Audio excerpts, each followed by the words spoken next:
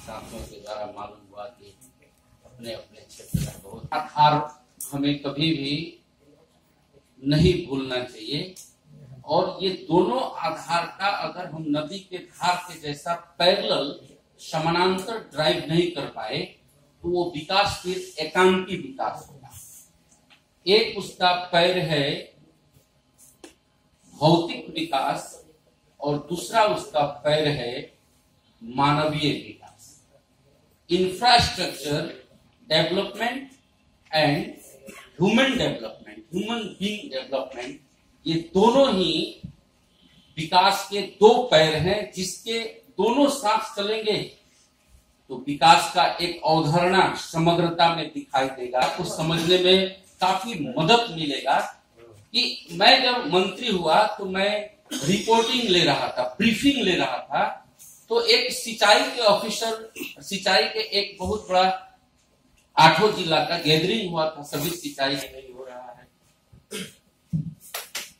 और हमारे इकोनॉमिस्ट लोग, हमारे डाटा कलेक्शन लोग, ये डाटा देते हैं, योजना आयोग में बैठ करके। बहुत दूर होते चले जाएँगे। इसीलिए सबसे ज़्यादा ज़रूरी है राष्ट्र के पास, राज्य के पास दोनों as a nation and as a nation state दोनों के पास, आपके पास एक मैपिंग होना ज़रूरी है।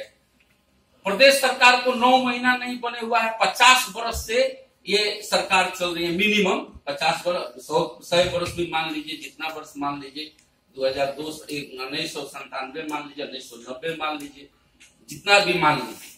लेकिन आप ये बताइए कि इतना दिन से सरकार चल रहे हैं इतने सड़क में पैसा आ रहे हैं, इतने सिंचाई में पैसा आ रहे हैं, और हमारे पास एक्यूरेट एक डाटा नहीं है कि परसा जिला में कितना ब्लैक टॉप सड़क है हमारे पास। कितना? सड़क है। कितना इरिगेटेड सड़क है, जो फिर से अपने इरिगेशन के लिए सिंचाई सड़क कितना है?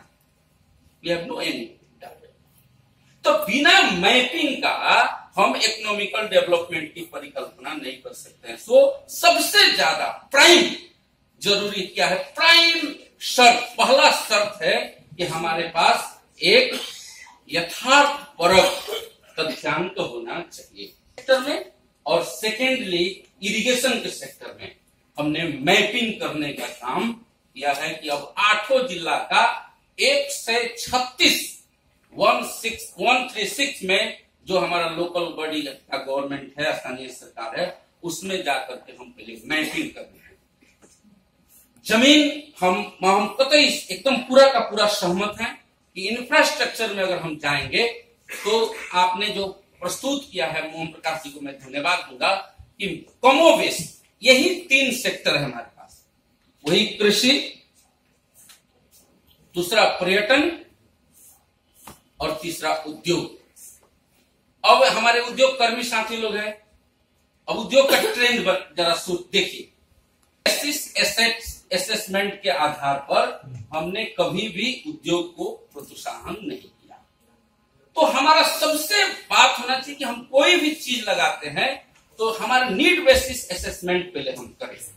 हमको लगता है हमको लगता है कि आज भी एग्रो वेस्ट इंडस्ट्रीज़ जो बहुत कम रॉ मटेरियल आपको दूसरे जगह से लेने हैं।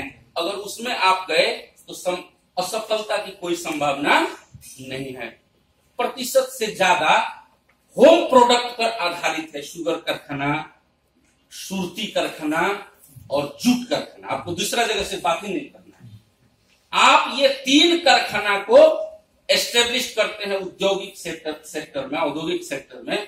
तो मुझे लगता है कि आप होम प्रोडक्ट से कृषि पर आधारित जो हमारे लोग हैं, उन्हीं के प्रोडक्ट से आप लोगों को कर सकते हैं। आप जाकर के देखिए, धनु क्या, आप जब ही सिराहा से पूरब जाएँगे, कोसी से पूरब जाएँगे, जूट का इतना पर्याप्तता है उधर। आप सुनसरी में चले जाइए, आप सुनसरी में चले जाइए, आप मोरंग में चले जाइए, आप छापा में चले जाइए, सिराहा के पूर्वी पार्ट में चले जाइए, सप्तरी के पूर्वी पार्ट में चले जाइए